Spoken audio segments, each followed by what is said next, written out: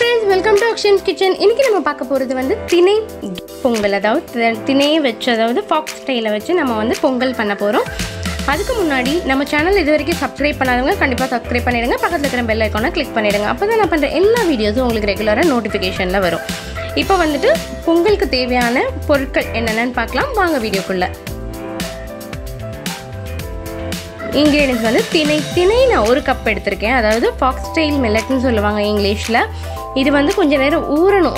நம்ம வந்து மில்லட்ஸில் நீங்கள் என்ன குக் பண்ணாலும் ஊறினா தான் நல்லாயிருக்கும். ஸோ அதனால் இது ஊறணும். ஒரு கப்பு நான் எடுத்திருக்கேன் திணை.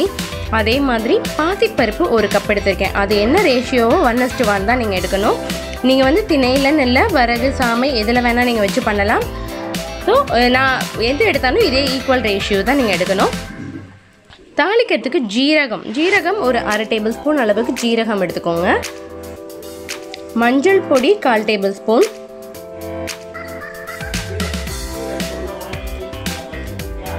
இஞ்சி நல்லா எவ்வளோக்கு பொடியாக நறுக்க முடியுமோ அந்த அளவுக்கு பொடியாக நறுக்கிக்கோங்க. ஒரு ஒரு டேபிள் ஸ்பூன் அளவுக்கு இஞ்சி எடுத்துக்கோங்க.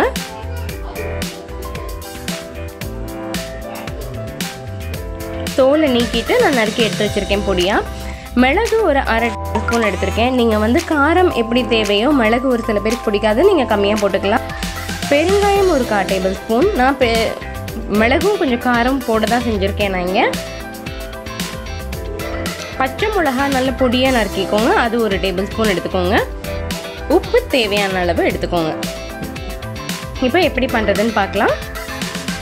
இப்போ நல்லா அலம்பிட்டு ஒரு பவுலில் தினையும் பாசிப்பருப்பும் போட்டு நல்லா அலம்பிட்டு எடுத்து வச்சுக்கோங்க. இப்போ அலம்பின அரிசியிலையும் இதுலேயும் வந்து உப்பு போட்டு நம்ம தண்ணி ஊற்றி ஊற வைக்க போகிறோம் அதாவது நாம் வந்து மொத்தமாக சேர்ந்து ரெண்டு கப் எடுத்துருக்கோம் இல்லையா? ஸோ ரெண்டு கப்புக்கு நான் மூணு டம்ளர் தண்ணி ஊற்றி நான் ஊற வைக்க போகிறேன் ஊற வைக்கிறதுக்கு வந்துட்டு ஒரு அரை மணி நேரத்துலேருந்து முக்கால் மணி நேரம் அதாவது thirty to forty five minutes வந்து ஊற வைக்கணும். இதை மூடி நீங்கள் ஊற வச்சுருங்க ஒரு முக்கால் மணி நேரம். Half an hour to forty five minutes கழித்து இதை ஓப்பன் பண்ணுங்கள் ஓப்பன் பண்ணிவிட்டு இதை அப்படியே நம்ம குக்கரில் வைக்கிறதுக்கு எந்த பாத்திரத்தில் வைப்போமோ அந்த பாத்திரத்தில் இதை ட்ரான்ஸ்ஃபர் பண்ணிடலாம் மாற்றிடலாம் மாற்றிட்டு நம்ம இன்னும் ஒரு டம்ளர் தண்ணி ஊற்ற போகிறோம் ஏன்னா இதுக்கு நிறைய தண்ணி நமக்கு தேவை. ப்ளஸ் பொங்கல் வந்து உங்களுக்கு நல்லா குழசெல்லாம் வெந்தால் தான் நல்லாயிருக்கும் சாப்பிட. ஸோ அதனால் இன்னும் ஒரு டம்ளில் தண்ணி ஊற்றிக்கலாம் இப்போ ஊற்றிட்டு இதை குக்கரில் வைக்க போகிறோம் குக்கரில் இதோட மஞ்சள் பொடியும் போட்டு மிக்ஸ் பண்ணிக்கோங்க. மிக்ஸ் பண்ணிவிட்டு குக்கரில் கொஞ்சம் தண்ணி ஊற்றிக்கோங்க கொஞ்சம் தண்ணி ஊற்றிட்டு பாட்டமில் இது இந்த பாத்திரத்தை வச்சு மூடி போட்டு நாலு விசில் நாலு விசில் வரணும்.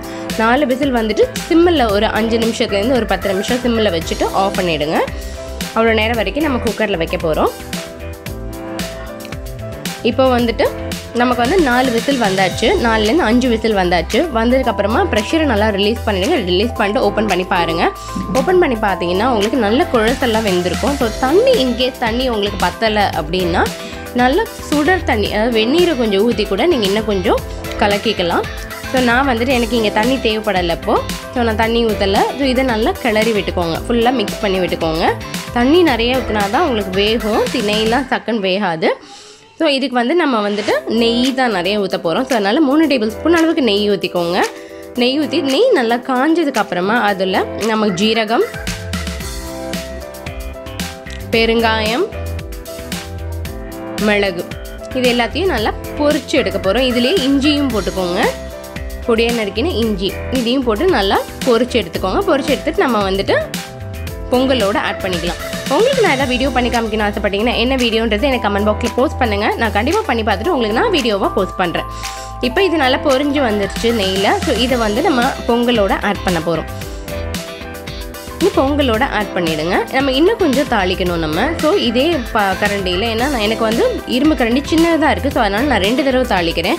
இன்னும் ஒரு ரெண்டு டேபிள் ஸ்பூன் நெய் ஊற்றிக்கோங்க ஊற்றிட்டு அதில் நம்ம நறுக்கி வச்சுருக்க முந்திரி பருப்பு. பல் பல்லாக நான் பாதி பாதியாக நறுக்கி எடுத்து வச்சுருக்கேன். முந்திரி பருப்பு நல்லா வறுத்து அதோட போட்டுக்கோங்க. முந்திரி பருப்பு இன்னும் நமக்கு வறுக்க வேண்டியது முந்திரி பருப்பு பச்சை மிளகா அப்புறமா கருவேப்பிலை. இது எல்லாத்தையும் வறுத்து நீங்கள் நெய்யோட போட்டுக்கோங்க. இன்னும் தேவைப்பட்டால் நெய் யூஸ் பண்ணிக்கோங்க. இல்லை வேண்டாம்னா நீங்கள் அவாய்ட் கூட பண்ணிக்கலாம்.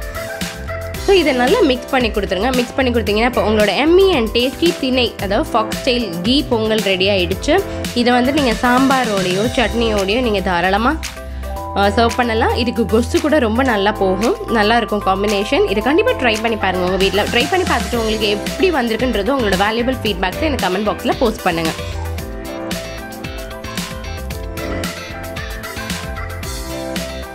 என்னோட வீடியோ பிடிச்சிருந்தா லைக் பண்ணுங்க ஷேர் பண்ணுங்க சப்ஸ்கிரைப் பண்ணுங்க. என்னோட சேனலில் பக்கத்தில் இருக்கிற பெல் ஐக்கானை கிளிக் பண்ணுங்க. தேங்க்யூ ஃப்ரெண்ட்ஸ் பாய்